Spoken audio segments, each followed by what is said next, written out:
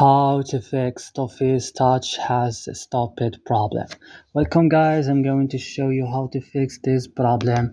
Right now easy and quick let's do it. So first step open the settings of your device. Click on apps option and search for DOFUS Touch and click on it when you see it.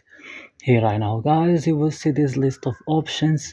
Just you need to scroll it down. Click on storage. Click clear cache and back then click right now on force stop and click ok here.